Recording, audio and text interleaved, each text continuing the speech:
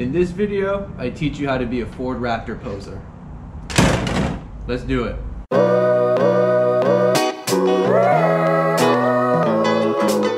What's going on YouTube? Welcome to another super exciting video filmed in my driveway once again in the beautiful state of Florida. Nice and sunny today. So, once again, you guessed it, Ram Rebel. That's what we're to be focusing on today. What we're going to be doing today is showing you how I transformed my Ram Rebel into the super badass Ford Raptor. And what I mean by that are these little grill lights up here. I'm going to show you how I wired them up to my truck. I've gotten a lot of requests to do this video, so I'm finally getting around to do it today. Um, I'm just going to be showing you how I did it. There's multiple ways to do this, um, but this is just the way I did it. So, first things first, let's take a look at the lights you're to need to do this.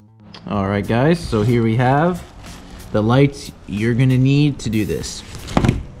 It's just these little three, or however many you want to do, little amber LEDs.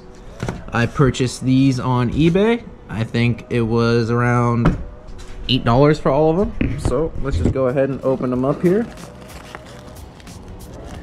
So you can get a better look at them. So you can see here, you got the nice wire with your positive and negative terminal. And then just right here is a little amber light. Then you can see back here, it comes with the nut. You're gonna be using that to secure it onto the grill. And then, there you go. Relatively cheap to do. So these are the lights you're gonna need.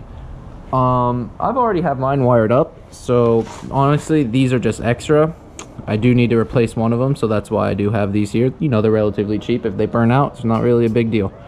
So, first things first, we're gonna need to remove the grill from the truck so we can go ahead and start seating these lights into the little cunny shaped right here. So, come up here, pop the hood. If you don't know how to remove the grill, you gotta remove these little trim pieces first. There, right there, right there, right there. Once you do that, there is gonna be a bolt right here, right here, and then another one down here, and down here. Those are 10 millimeter bolts. You remove those bolts, and then this grill should just click out of place. Um, it's a little bit harder for me because I have these lights right here. So I'm just gonna put you down, do that, and then we'll proceed to the next step.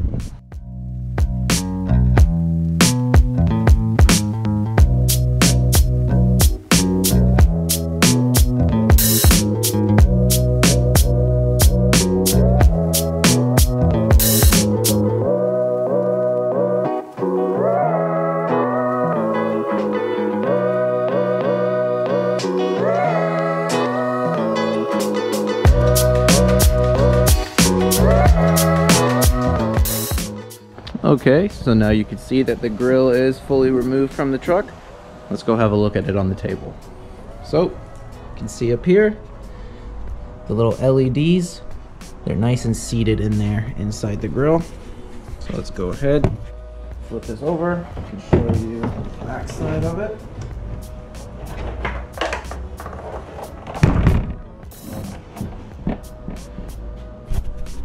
Right here, there you can see, the three LEDs all wired up together.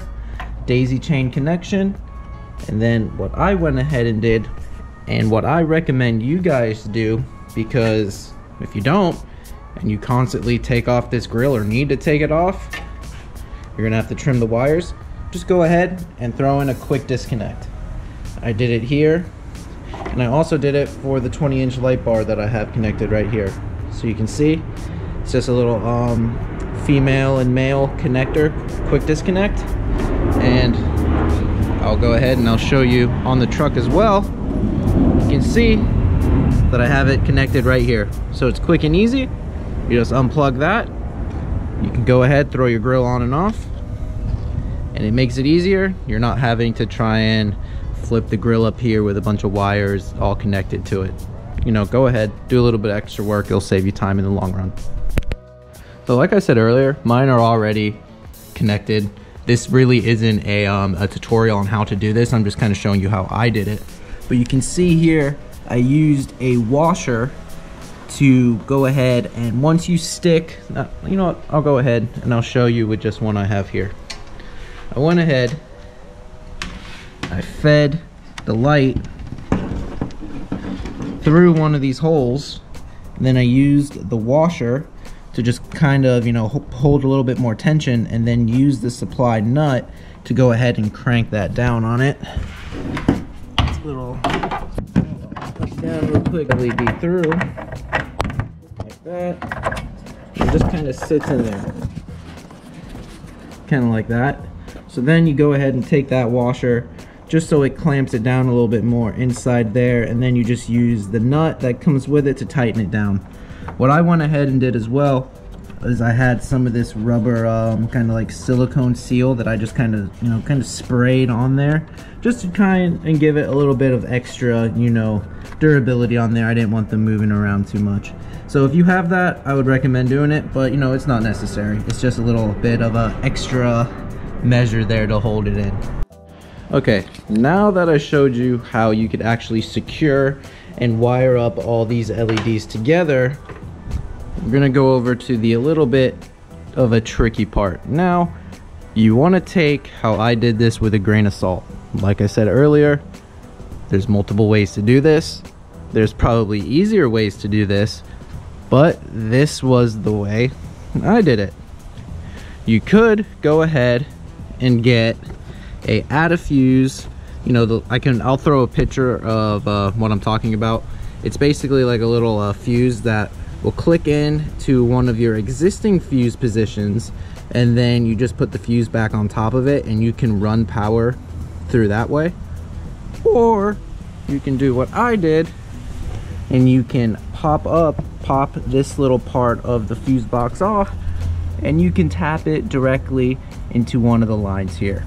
So again do this at your own risk. This is how I've done it. So you can see here this is my quick disconnect. We got positive and negative on here so you can see that right there.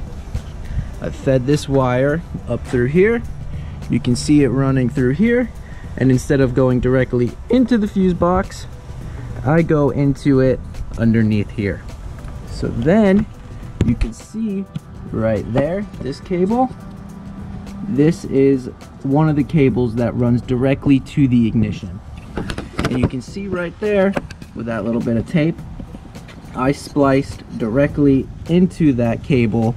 So whenever I turn my car on, I hit the remote start or I just hit it and it starts up, the lights are automatically on all the all the time. There, I, I didn't wire up a switch that I can turn them on, turn them off remotely. I just wanted them on all the time. So that's the way I did it. I tapped directly into an ignition, ignition source. Again, you could go ahead and find one of those sources up here and tap into that directly. You know, cool. That's not what I did, so I can't really show you that. But that's what I did right there. So that right there, you can see that ignition cable right there, that is the positive connection there. And then it's hard to show, show but you can kind of see right there that the negative is running back down, comes out through this side, and I got the negative connected right here to the battery source. So that's grounded out on the negative. And that's how I have it wired. Again, take it with a grain of salt. You don't have to do it this way. It's just the way I did it. I had someone else helping me do this. It's the way they suggested to do it. I tried it with the um, little fuse, it wasn't really working for me. I don't really know if it was drawing enough current or I, I don't really know. It just wasn't working. But this way seemed to be working fine. I've had them installed this way for over two years. No issues besides one of the bulbs kind of just going out. But again, that's more than likely just because it's a $2 bulb, not because it's wired incorrectly. So that's more or less how you do how you do it. Again, take it with a grain of salt. You don't have to follow it that way. You say whatever you want about it. That's just the way I did it. Again, I would highly recommend adding these little quick disconnects. Just makes working on everything a lot easier. A little bit of bonus information I have for you here. I have gotten a lot of questions about how I mounted this 20 inch light bar behind the grill. A lot of people tend to do it in front of the grill. I think it looks a hell of a lot cleaner behind the grill. So you can see here, these are the supplied mounts, little brackets that you get with this light bar. Again, this was a cheap light bar. I think it was 40 bucks on eBay. It came with the switch, wiring, everything. So I just used the supplied brackets that it came with and I drilled, you can see here on the back of the grill, it has this kind of little lip area. I just drilled right into that and mounted it up there. You know, two washers, clamping it down, nut and bolt hardware. It's not going anywhere. Nice and sturdy, look at that. Again, this has been on there about two years, no issues. But again, throw a quick disconnect on there. Makes it really simple. You don't have a bunch of cables everywhere when you want to remove the grill. Makes it nice, quick, simple, easy to do. So again, that's a little bit of a uh, bonus right there. If you're looking to mount any type of light bar behind your grill, you want to make it nice and clean and stealth, cheap, there you go. That's how you do it.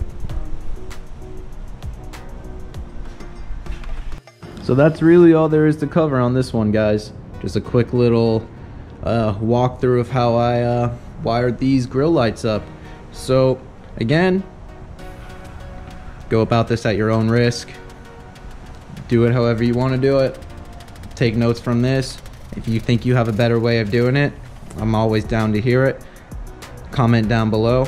I'll also throw a little link down below to where I purchased these lights from if you want to order the same ones. So yeah guys, go ahead, give this video a thumbs up, hit that subscribe button down below. I really appreciate that. I'm gonna go ahead, throw this grill back onto the truck, and I'll see you guys in the next video. Later.